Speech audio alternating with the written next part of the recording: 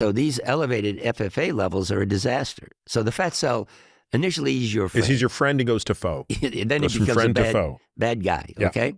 So that's number four. Uh, number five is the gastrointestinal tract.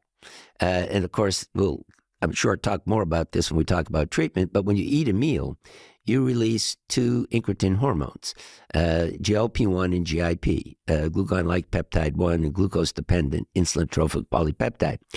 Those two incretin hormones, when you eat a meal, account for about 70% of the insulin that's released in response to the meal. So now, what is the problem? Is the problem that you don't release enough GLP-1 and GIP, or is it that your beta cell is refractory to the GLP-1 in GIP? Well, it's the later. Just so let's say that again, Ralph. I want to make sure people understand this. And the reason it's important is obviously everybody listening to us right now is very familiar with drugs like semaglutide and tirzepatide. Yep. But I want people to understand why those drugs were developed. And of course, semaglutide's already probably what the third generation of it anyway. So when we go back in time, we'll understand why people try to develop these drugs. But just say that again. So you eat your meal. Yep.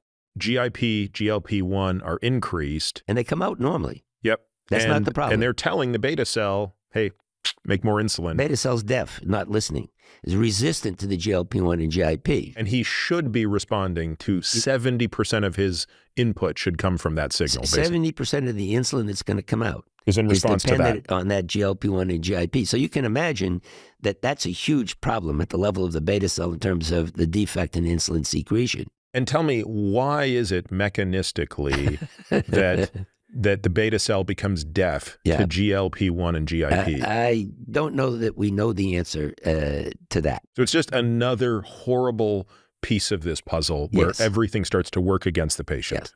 So this is an area of, of course, intense investigation. But the clinical counterpart of this is you've already mentioned the, the drugs that are out there, the GLP-1 receptor agonist. What I'm doing is I'm giving you a pharmacologic dose of GLP-1, and I'm overcoming the resistance at the level of the beta cell. Now, I, there's another component to this that we'll get to, and that's glucotoxicity.